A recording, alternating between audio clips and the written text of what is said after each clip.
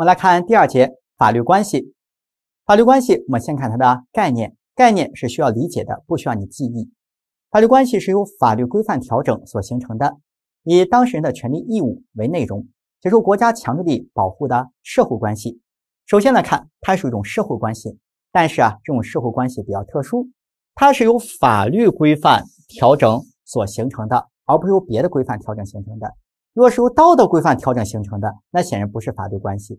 再比如说，如果你违反了学校的校规被开除了，我们说这也不是法律规范调整的，是你校规调整的，那也不叫法律关系。所以它的依据是法律关系，是法律规范。另外，内容是权利和义务，而且有国家强制力保护，这有它的概念了。注意，并非所有的社会关系都受法律所调整，即法律有所为有所不为。比如说情谊行为，法律就不管，所以情谊行为也不属于法律关系。什么叫情谊行为？我说老高，明天请你吃饭，吃全聚德的烤鸭，就要明天没请。此时老高不可能请求法律来保护他，因为这就不是法律关系，这叫情谊行为。另外，恋人关系也不是法律规范所调整的，所以它也不属于法律关系。OK，这个概念理解它。往下，我们来看法律关系的分类。第一个可以分为刑事法律关系、民事法律关系、行政法律关系。它分的标准啊，就是。所依据的法律规范性质不同进行划分的。顾名思义，刑事法律关系依据的是刑事法律规范，民事法律关系依据的是民事法律规范。好，这个分类简单知道就可以了。看第二分类，我们可以将法律关系分为调整性的法律关系和保护性法律关系。它的分类依据就是：好，这是依据一个合法行为还是非法行为？如果依据的是合法行为而产生的，就叫调整性法律关系。也叫第一性法律关系。我们说这是法实现的正常方式，因为就像我们说的，绝大多数时候，大部分人都会去遵守法，而不去违反它。所以，既然是遵守，那就是它实现正常方式，就是一性的。相反，若是基于违法行为而产生的，这叫保护性法律关系，也称第二性的法律关系。一定是第一性受到破坏，才会启动第二性的法律关系。比如各位这边。故意杀人，那么要受到刑事处罚的，要承担刑事责任的，那此时就构成了刑事法律关系，就属于第二性的保护性的。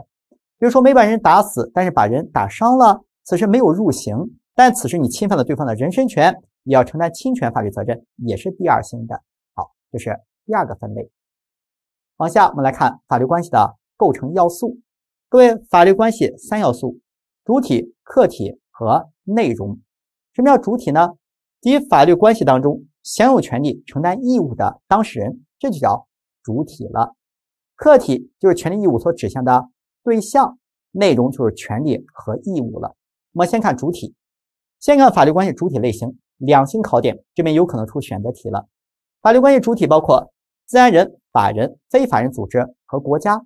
各位先看自然人，什么叫自然人？就是依据自然规律出生的。有血有肉有感情的就叫自然人。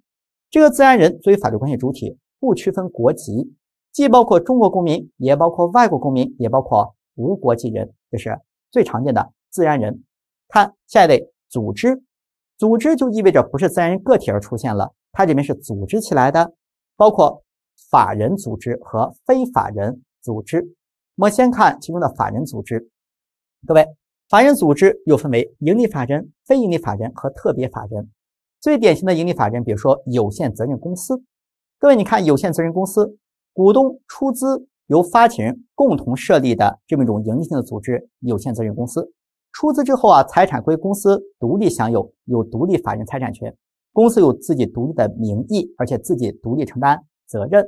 所以你看，他有自己的名义、有财产、有责任，是不是和一个自然人差不多啊？但是虽然差不多，但他没血没肉没感情，不是妈妈生的，是法律规定他作为一个独立的人存在的，这叫法人及法律规定的人，而不是自然出生的人的意思。好，各位看它的子分类，第一个盈利法人分为有限公司、股份公司和其他企业法人。其他企业法人，比如说没进行公司制改制的相关经营主体，那它是其他企业法人。好，第二。非营利法人这里经常出题了，非营利法人这些都不具有盈利性，因为他们存在的目的不是赚钱。好，具体分为事业单位法人，比如说中国人民大学，这是我们国家的一个高等院校事业单位法人，某公立医院事业单位法人。好，第二，社会团体法人。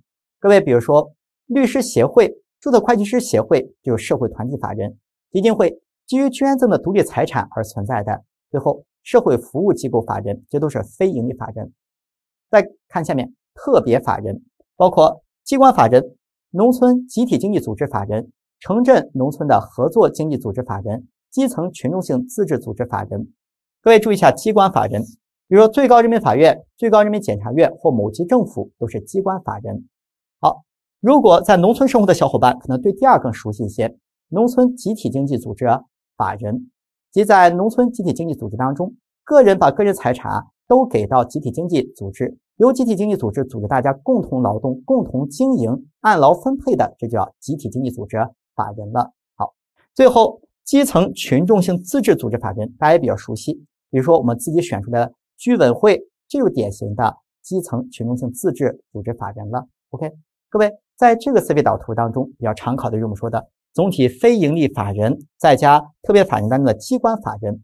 如果考的这样定性，你要把它挑出来。好，这是我们说的第二类法律关系主体组织当中的法人组织。往下来看，非法人组织。非法人组织首先它是一种组织，而不是个人，但是它本身独立性不够，所以它不构成法人，即法律没规定它成为独立的人。具体包括。个人独资企业，各位个人独资企业，我们简单啰嗦两句，它是由一个自然人投资设立的，以个人财产对企业债务承担无限责任的经营实体。所以你会发现，虽然它是由个人成立的企业，但它不独立。如果它欠钱，仍然是由投资人个人以个人财产承担无限责任的。合伙企业它也是非法人组织，虽然它也要领营业执照进行登记，但它领的营业执照叫非企业法人营业执照。另外，合伙企业如果欠钱啊，他要还不起，也哭着喊着找背后的合伙人承担无限连带责任。所以你看，他俩责任都不独立，他俩责任最后都会穿透到背后的投资人身上来背无限责任。所以你看，不具有独立性，但也是组织，叫非法人组织。最后，不具有法人资格的专业服务机构，各位比如说很多律所、会计师事务所就是第三类了。这是我们说组织当中的非法人组织。再看第三类，国家。大家注意，国家只有在特定情况下才能成为法律关系的主体。比如说，国家在这边接受外国政府的贷款，比如国家在国内发行国债，那此时它也是法律关系的主体了。好，这么讲的三要素之一：主体、自然人、组织。组织分为法人组织、非法人组织。第三，国家。好，下面看这道题，根据民法典的规定，基金会属于什么呢？A 是盈利法人吗？不是，盈利法人它是以盈利为目的的。好，而基金会这边不以盈利为目的。B 是特别法人吗？不是特别法人，特别法人包括什么？机关法人，包括基层好群众自治组织法人。好，这里不是。C 是非盈利法人，C 是当选的。好，D 属于非法人组织吗？不是，它是法人。非法人组织是指的个人独资企业、合伙企业这种不具有法人地位的专业服务机构。所以这个题一目了然，答案就是 C 是当选的。好，来看下面法律关系主体的资格。我们在法律关系主体资格当中有两个能力，这两个概念需要大家理解，一个叫权利能力，一个叫行为能力。先看什么叫权利能力，是主体参与法律关系、享有权利、承担义务的资格，是他实际取得权利、承担义务的前提哦。所以你会发现。权利能力是资格，是前提。好，往下，所有法律关系主体啊，都具有权利能力。要么定义法律关系就是什么？以权利义务为内容的。那主体就是享有权利、承担义务的当事人，所以所有的主体都有权利能力。各位具体来区分，自然人的权利能力和法人权利能力的起始点是不同的。自然人他的权利能力始于出生，终于死亡。好，这句话我需要你脱口而出，烂熟于心。始于出生，终于死亡，这是自然人的权利能力。另外，我们讲自然人的权利能力，各位都是平等的，人生而平等，说的就是权利能力的平等，都有这种资格，也都有这种前提条件。注意，法人他的权利能力起始点不同，是始于法人的成立，终于法人的好终止。那么成立和终止，各位后面我们会讲有两个标签儿，领取营业执照之日是法人成立之日，那么注销登记就是终止之日。所以你可以记成立时产生，终止时消灭，也可以记领取营业执照到注销登记这段时间就是他民事权利能力的存续期间了。好，这是我们说的权利能力的起始点。各位更为重要的是行为能力，行为能力是指主体通过自己的行为享有权利。承担义务的能力，你看，不是通过别人，而通过自己。我躬身入局，我亲力亲为的能力，就叫行为能力。你还记得吗？前面我们讲的权利能力是一种资格，是一种前提，而这边是我自己来的能力。所以，行为能力以权利能力为前提。好，有权利能力才有可能有行为能力，但有权利能力不一定有行为能力。有很多时候你不能自己来。各位，下面是个重点了，就是我们根据一个人的年龄。智力和精神状况对自然人他的行为能力进行划分，划分为三种：完全民事行为能力，即完全可以通过自己行为享有权利承担义务；限制民事行为能力，无民事行为能力。这三类。各位，下面这里是我们民法的基础了。第一章我们会讲到，第二章我们还会讲到。我们这是第一遍讲，完全民事行为能力人有两种：第一个，年满十八周岁的成年人。好，满十八周岁，十八周岁以上就是大于等于十八，成年人年龄大。第二，十六周岁以上不满十八周岁，但是以自己的劳动收入作为生活主要来源，也视为完全民事行为能力。各位，我们这里看，他未成年，但是啊，他本领强，自己劳动收入已经作为生活主要来源了。好，十六以上不满十八。各位，这里其实也非常好记，你想你的生活常识。一般十六周岁，从上学的角度是哪个阶段刚结束啊？初中刚毕业，即九年义务教育已经完成了。往后你上不上高中，国家不再强制你，不再管你了。所以你看，很多同学初中毕业之后，要么考高中了，要么就步入社会去参加工作了。而且参加工作还挺厉害，自己劳动收入作为生活主要来源，也不靠父母补贴作为主要来源了。此时他本领强，也视为完全民事行为能力人。所以各位记住了吗？年龄大。本领强，完全民事行为能力；限制民事行为能力，各位有两类：第一类，年龄是八周岁以上，不满十八岁；第二是不能完全辨认自己行为的成年人。哦，他已经成年人了，但是他的精神状况堪忧，智力有问题，不能完全辨认自己的行为，所以这两类是限制民事行为能力。再看第三类，无民事行为能力。好，也是两类：一年龄上。不到八岁，好。另外，第二类完全不能辨认自己行为的成年人和未成年人，大家注意这两边不同。如果不能完全辨认，有一部分能辨认，有部分辨认不了，这叫限制。相反，完全不能，所有的都一塌糊涂，一片漆黑，那就是无民事行为能力。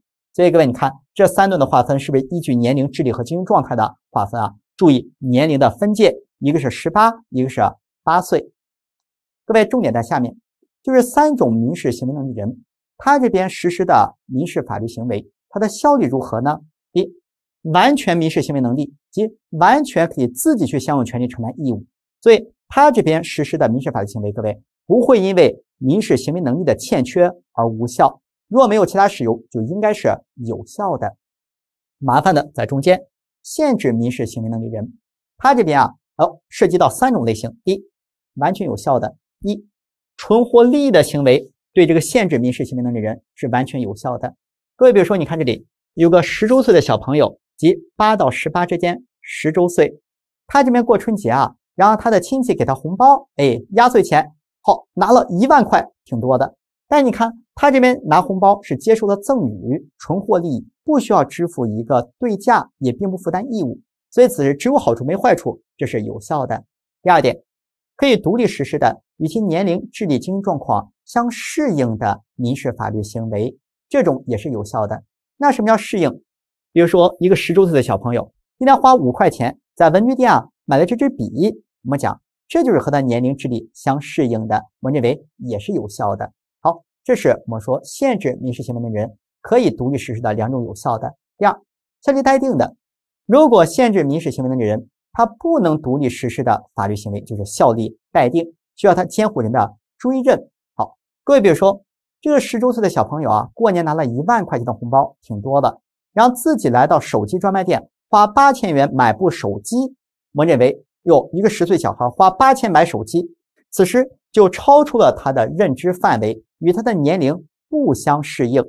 那你说这个行为效率如何呢？可以向左，也可以向右。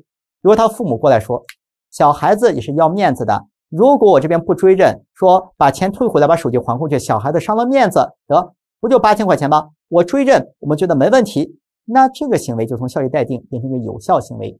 相反，如果父母拒绝追认，那此时我们说该行为就归于无效，这是不能独立实施的效力待定。最后，不能独立实施的特定民事法律行为是无效的。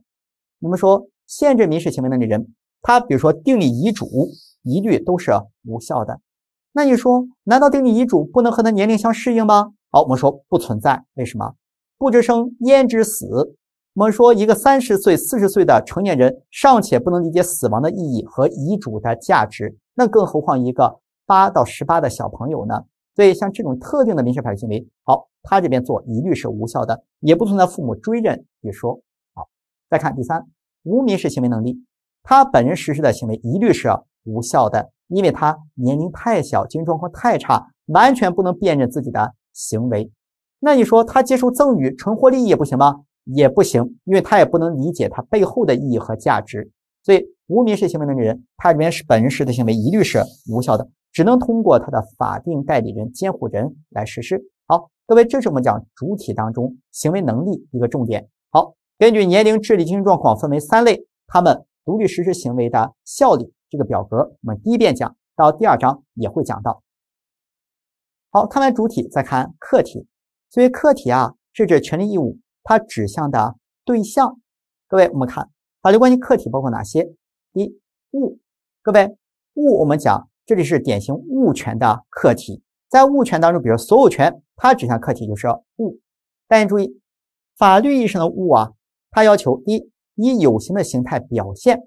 也能够为人力所支配的这种才是法律意义上的物。相反，各位我说，本录课室当中一团空气，也没有装在袋子，也没有装在罐子里，它没有一个有形的形态。各位，你看此时不符合这个有体性的要求，它不能成为法律上物。再比如说，我们说遥不可及的太阳，遥不可及的火星，它虽然是有体的，但是目前是力所不及的，人类无法支配，所以也不能成为法律上物。好，第二点。纵然满足有体性和可支配性，但是也不是所有的物都成为法律关系的客体。比如说毒品、假药，它就不能成为私人所有权的客体，这是法律所禁止的。另外，我们讲广义上物还包括货币，它属于特殊的动产、有价证券等等，这是第一类客体物。OK，是物权这种权利和义务所指向的对象。第二个行为，各位行为是人们在主观意识支配下的。活动能够满足权人的需要，它也可以成为法律关系的客体。各位行为包括作为和不作为。我说行为它是债权的客体。各位，比如最典型的，我和高志贤老师签个买卖合同，我俩之间就是一个债权债务关系了。那你说，在这个债权当中，它的权利义务所指向对象是什么？我们说的这个买卖合同当中，好，首先高志贤老师他作为买方。有权要求我履行交付这支笔的义务，我有权要求他向我支付价款，履行这个义务。好，这里两个都是作为。那么相反，比如说我和高志强老师签了个保密协议，要求他保守我们单位的商业秘密和知识产权相关的信息。你看这个保密协议，这个债权关系，它所指向就是老高不能泄露商业秘密的好行为。所以你看，这就是行为作为客体。大家注意，这要做个区分，就是我们和客体啊容易混淆概念，叫标的物。各位注意，客体是指法律关系、权利义务所指向的对象，而标的物啊是指这个具体的东西。各位举这个例子，我和高志谦老师签了一个商品房买卖合同，将我在北京的房子一百万卖给高志谦老师。我们说，在这个买卖的法律关系当中，它是个债权，它所指向的客体什么是行为。即我有义务把我的房产交付给老高，并且办理房屋的过户登记。另外，老高这边应该向我支付价款。你看，交付房屋、办理登记是行为，老高向我支付价款也是行为，是行为中的作为。那这是我们说的客体指向的对象，而这里买卖的是房产，这个房产叫标的物，而不是客体。好，这是你要区分开的。再看第三类课题，人身利益。各位，人身利益包括人格利益和身份利益。各位，身份利益，比如最典型的夫妻关系，夫妻这就是典型的一种身份利益。比如这种身份利益有可能被侵犯，比如在刑法中有重婚罪。另外注意，除了自然人有人身利益之外，法人、其他组织也有人格利益。比如说，我们到反不正当竞争法当中的概念叫诋毁他人商誉。你看，公司这边是有商誉的呀。好，这是人身利益。再看第四，智力成果也可以成为法律关系的客体。比如说，我们有个部门法叫知识产权法。各位，知识产权法它的客体就是智力成果。比如说，著作权法它的课题是作品。作品，各位不是这本书，这本书是民法的物，它是物权的课题。作品是以这本书呈现出来的，凝结在其中的人的思想、感情和智慧成果。所以，各位你会发现，哦，作品是看不见、摸不着的，它只不过以书这种载体表现出来了。再比如说，专利法，专利它的课题是发明、使用新型和外观设计。比如说，发明专利，它本质是一套技术方案，而不是根据技术方案而造出来的东西，所以它的课题也是看不见摸不着的智慧成果。OK，这是我们讲的四类课题。好，各位，主体、客体我们都讲完了，再看法律关系的第三个方面，第三个要素，法律关系的内容。我们说法律关系的内容就是权利和义务，只有主体享有和承担的权利和义务。大家注意，我们说法这边。是权利义务并重的，在同一法律关系当中，权利义务一定是同时存在的，两者相互存的。各位，比如说我和老高之间签了一个房屋买卖合同，你看一个买卖关系，那此时我作为卖方，我这边有权要求老高向我支付价款，这是我的权利；同时，老高也有权要求我向他交付房屋，并且办理过户登记。好，办理房屋的过户登记和交付就是我的义务。你看，我的权利和我的义务是并存的。另外，我要求老高向我支付价款，这是我的权利。那对老高向我支付价款就是他的义务呀。所以你看，两者是不是同时存在啊？有同学这里可能想的比较缜密，他说：“刘老师，那赠与赠与法律关系当中，权利义务并存吗？他这边赠与人好像只有义务没有权利哦。各位，你要从另一个角度去解析。我将这支笔赠与给高继新老师，我这边有赠与的义务，应该把这笔交付给他，这是我的义务。”那同样，老高作为受赠与人，他又有权利请求我交付啊。你看，我的义务是不是他的权利啊？所以，权利义务是并存的。好，这是它的内容。各位，我们往下来看，看法律事实。法律事实和法律关系这两概念密切相关，而且法律事实这个概念有点抽象，我们需要好好的讲，细致的讲。法律事实是法律规范所确认的，能够导致法律关系产生、变更、消灭的。客观现象，法律事实根据是否以当事人主观意志为转移，分为事件和行为。所以各位，你看完这段话会知道，哦，法律事实是不是能够引起导致法律关系啊？没错，所以法律事实引起了法律关系，它导致法律关系产生变更和消亡。所以法律事实，各位什么是个按钮？叮咚，按下去，法律关系就产生变更和消亡了。相反，如果没有按下按钮，就不该有法律关系的变更、消亡等等，所以法律事实是触动法律关系的按钮，没错。而这种事实又不是我们自己靠意志给它创造出来的，是法律规范所确认的。好，所以各位，简而言之是法律规范确认的按钮，按下去法律关系启动，这就是法律事实。大家看这个思维导图，和人的意志无关的，哎，这叫事件；和人的意志有关的叫行为。各位，我们看哪些是和人的意志无关？人的出生、死亡。自然灾害、意外事件、时间经过，这和人的意志无关。行为我们一会儿再讲，又分为法律行为和事实行为。我们先看事件，各位这些都不是个人意志所控制的。一，人的出生和死亡。比如说，老师，人的出生不是爸妈引起的吗？各位，我们这里说人的出生是本人出生，不是本人意志所决定的，本人意志决定不了。好，同样死亡，本人意志也决定不了啊。所以各位，这就是事件，而不是行为了。那你说人的出生、死亡会引起哪些法律关系呢？我们说，首先，人的出生，我们前面讲过，自然人他的权利能力是始于出生，终于死亡，所以你看出生，他这边就有了权利能力。另外，我们讲他的人格权也是从出生开始的，他的继承也从出生开始有继承资格的。好，第二点，自然灾害和意外事件。各位，比如后面我们讲的概念叫不可抗力。比如说，我这边啊要把这支笔卖给高志贤老师，约定啊需要在五天内交付给他。但是地震爆发了，泥石流爆发了，导致交通阻塞，没办法把这笔交给他，我违约了。但各位，如果是因为不可抗力而导致的违约，我这边是免责的，并不承担相应的责任。所以你看，他这边是不是按下这个自然灾害不可抗力的按钮，导致了法律关系啊？好，往下看，第三。时间的经过，我们讲时观是最公正、最客观的，不因为任何人的意志而变得更快或者更慢。所谓的度日如年，随着时光如梭，都是你的主观感觉，但是客观并没有改变。大家看，时间经过会有什么法律关系的变化呢？比如后面我会讲概念叫诉讼时效。如果权利人在一定期间放任权利而不管，而不去行使，躺在权上睡大觉，那此时过去一段期间，国家强制力就不保护他了，这有诉讼时效的经过。所以时间经过，它也会导致法律关系的变化。OK，这是我们讲的三个事件。各位看完事件，再看行为。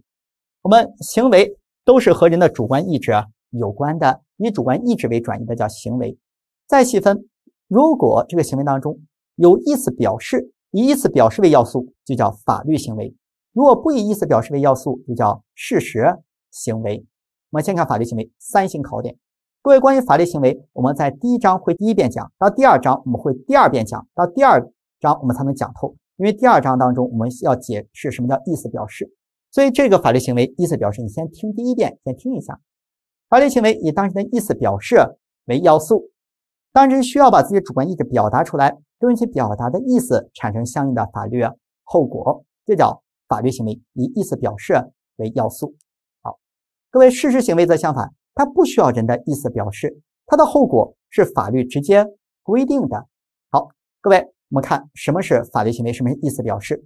各位，比如说，我现在内心有个想法，我想要产生一个将这支笔卖给高志谦老师的法律效果，这支笔的所有权由我转移给高志谦老师，这是我内心的意思，想要把这支笔所有权从我转移给老高。于是乎，我把它表达出来，我老高这支笔十块钱，你买还是不买？老高说，我买。于是我俩意思表示一致，达成了一个买卖的法律关系。OK，所以各位，你看此时法律行为是什么？法律行为是我和老高之间订立了一个买卖合同。OK，其中是以意思表示为要素的，最终产生的效果也是我有义务把这笔交付给他，他有义务给我钱。内心所想即为外部的表达，心有所想，外有所为，这就是我们的法律行为了。那这个意思表示，各位不是说的啊，我有什么想法表达出来都要意思表示，只有我要追求法律上的效果，这种意思才叫意思表示的意思。我们讲心有千千结，这个心有千千结可能是我想请老高吃饭的意思。对不起，这不是意思表示的意思，因为你不想订立一个法律关系，不想产生法律效果，或者我想和老高成为好朋友的意思。对不起，这也不是意思表示，因为你的目的不是产生法律上的效果。只有心有千千结当中，你的目标是产生法律效果上的，并且表达出来产生行为，这才叫以意思表示为核心的法律行为，最终达到的效果，以你所追求的法律效果。OK，各位，我们第一遍就这么解释，到第二章我们还会再做解释。好，再看第二事实行为，不以意思表示为要素，只要有法律规定的行为，就产生相应的法律后果。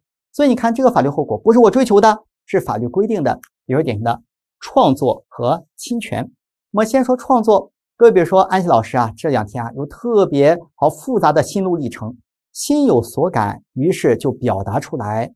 这个文字，这个篇章就像溪流一样，从笔尖自然而然的流淌出来，写了一大篇文章，甚至写了个回忆录、一部小说。于是我创作了这部作品。法律规定，作品自创作完成之日起享有著作权。所以你看，产生那个法律关系，我享有。著作权，但各位，请问我在写这篇文章、这部回忆录、这本小说的过程中，我是否内心在追求一个法律的后果？我为了获得著作权而去写这个东西，不是，只是我想写，所以写了。写完之后有著作权，不是我追求的，是法律规定，只要写完就自动有著作权的。所以你看，这个创作不以意思表示为要素，但最终也产生了法律关系。那此时是法律规定的，不是我追求的。同样道理，侵权有个道理。我今天特别愤懑，我今天被别人鄙视了，我要发泄出来。于是我把个老高高志勤老师给打了一顿，打伤了，打他个生活不能自理。我当他打伤，他这边住院了，支出了医疗费、护理费、营养费等等。于是根据民法侵权责任，法院判决我赔他二十万，我应该承担侵权责任。所以各位，你看我打他，对他侵权，你看这里有我的行为，但是我打他这个行为，内心当中并没有在追求。我要打完他要赔他钱承担侵权责任的这种意思，所以你看，打完他承担侵权责任，这是法律的规定，而不是我内心追求啊。所以各位，你懂了吗？哦，所谓的民事法律行为，简称法律行为，是心有所想，于是表达于外，产生了你所追求的法律效果；而事实行为是心中没有追求这个效果，你只做这个事儿，法律规定有这个后果，就这样子的。同样道理，各位。建一座房子也是这样，我这边需要一座房子遮风避雨，于是我用水泥、用砖石盖栋房子。盖完房子，物权这边就规定，哎，这个房子盖成了，我就自动取得了所有权。各位，你看我盖房子，我确实有个动机，我想，哎，获得一个遮风避雨的场所，晒不着，冻不着。但是我没有追求说盖房子要拥有所有权这个法律的效果，只是法律规定盖完自动有所有权。所以各位，这两个你要区分开。法律行为以意思表示为要素，事实行为不以意思表示为要素。另外，我们讲法律行为要求行为具有相应的民事行为能力，而相反，事实行为不要求行为能力。比如小朋友也可以创作呀，好，小朋友可以盖房子呀，这是我们讲的关于法律事实。各位，我们把法律事实再总结一下，因为过于抽象，大家看，法律事实是个按钮，按下去，叮咚，法律关系产生变更和消亡。和人的意志无关的叫事件，和人的意志有关的叫行为。但注意，和意志有关，意志当中心有千千结，但不是所有的意志都叫意思表示。只有追求法律效果的内心意思表达出来才叫意思表示，这种叫法律行为。而相反，如果你没有意思表示在里面，只是法律规定某行为产生某种后果，就叫事实行为。好，这是我们本节讲的抽象的内容。好，来看这道题，下列法律事实的类型当中，侵权行为属于什么呢？A 自然事件不对，B 社会事件也不对，因为它也都是事件，而侵权是和人的意志有关的。你打没打别人，你的意志是能控制的，所以他们不选。C 法律事实，D 事实行为。好，C 法律行为，D 事实行为。各位，我们讲不是法律行为，法律行为是内心追求某种法律效果，有这种意思表示，表达于外，并且产生了这种法律效果。好，而事实行为不以意思表示为要素。在这边，最终的法律效果是法律所规定的，而不是你内心所追求的。好，这个题答案就是 D 是当选的。OK，好，再看第三节。第三节，习近平法治思想引领全面依法治国基本方略。各位这边偶尔会考选择题的，我们简单一过就可以了。首先来看，关于这里全面依法治国，它的领导机构，我们组建中央全面依法治国委员会。负责全面依法治国的顶层设计、总体布局。好，作为党中央议事决策议事协调机构，大家注意，这委员会它是个协调机构。大家往下看，中央全面依法治国委员会办公室设在司法部。哦，大家注意，它有具体的办公室，那么在司法部设立。不要小瞧这句话，这是某年单选题的直接选项、直接考点。好，这是领导机构。往下来看，全面推进依法治国的。总目标，那总目标包括大家注意这两句话需要你记住：第一，建设中国特色社会主义法治体系。哦，最终目标是建立法治体系，当然是具有中国特色的。另外是建设社会主义法治国家，这是我们的总目标。往下来看，习近平法治思想，各位，习近平法治思想核心要义如下，总是十一个方面。这十一个方面啊，我们有所认知、有所认识就可以了。内容很多，不要求大家背，偶尔会考到。大家看，第一点，坚持党对全面依法治国的领导。大家注意，党的领导它的地位是什么？是根本保证。第二，坚持以人民为中心，因为我们这边的根本目的是保障人民的权益。第三，坚持中国特色社会主义法治道路。大家看，这个社会主义法治道路本质啊。是中国特色社会主义道路在法治领域的具体体现。第四，坚持一线治国、一线执政。党自身也必须在宪法法律规范内进行活动，不能超然于外，置身事外。第五，坚持在法治轨道上推进国家治理体系和治理能力的现代化。大家看，法治轨道上，法治是国家治理体系和治理能力的重要依托，这是它的性质，是依托。第六个，坚持建设中国特色社会主义法治体系。我们前面说了，建设法治体系是发展的总目标和总抓手。第七，坚持依法治国、依法执政、依法行政，共同推进好法治国家、法治政府、法治社会统一建设。这些统一是战略布局。第八，坚持全面推进科学立法、严格执法、公正司法、全民守法。这是我们讲法治建设的十六字方针。第九。建设统筹推进国内法治和涉外法治。好，大家看，国内和涉外这边是统筹推进的，这是建设法治强国的必然要求。第十，坚持建设德才兼备的高素质法治工作队伍，这是组织保障。那当然，队伍是保障。最后，坚持抓住领导干部这个关键少数，这是关键问题。这么说，习近平法治思想的十一个方面。OK。第三节就是这些内容了。我们来看下面这道题目，非常简单：全面推进依法治国的发展目标和总抓手是什么呢？好，各位一目了然。既然总目标、总抓手，那就 B，建设中国特色社会主义法治体系。好，B 是当选的。我们来看第四，二十大报告关于全面依法治国的阐述。大家注意，这是我们二三年比二二年相比新增的内容。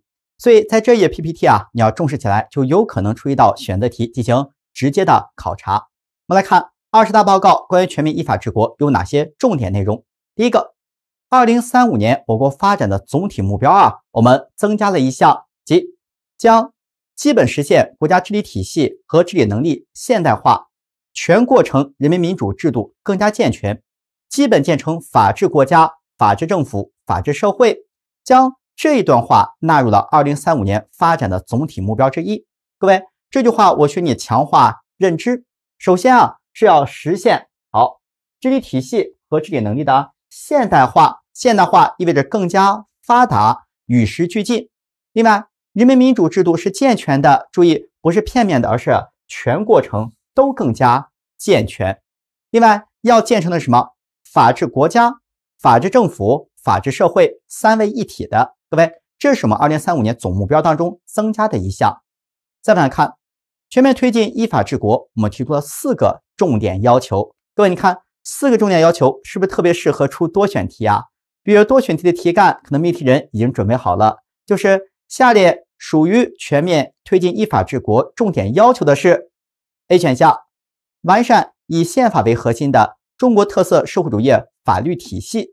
各位，这句话把它简化就是完善。法律体系怎样的法律体系呢？宪法是根本大法，以宪法为核心的中国特色社会主义法律体系。第二，扎实推进依法行政。第三，严格公正司法。所以你看，一个是司法，一个是行政问题。第四，加快建设法治社会。这就是四个重点要求。好，各位，这一页我需要你截图把它截下来，非常重要，这是新增的内容，大概率有可能进行考察。各位，本章到此结束。各位，在本章结束之际啊，我们回忆一下本章讲了哪些内容。本章总共是三节内容。第一节基本的概念，我们给出法的概念、法律体系、法的渊源和法律规范。第二节法律关系，法律关系是重点。首先我们讲，不是所有的社会关系都是法律关系，它是法律规范所调整的。因为法律关系三要素：主体、客体和内容。主体当中最重要是法人，你要注意法人的分类。另外，主体当中自然人的行为能力也是重点。三类：完全、限制和无民事行为能力。客体注意是权利义务执行的对象，而不是标的物，不要混淆了。另外，客体有哪些？权利和义务相互依存。最后我们讲触发法律关系的，导致法律关系产生变更消亡的叫法律事实。法律事实细分为。和人的意志无关的叫事件，和人的意志有关的叫行为。行为进一步的细分又分为法律行为和事实行为。OK，关于这个法律事实，我们到第二章还会一咏三叹，再次讲解。好，各位，本章到此结束，希望大家有所收获。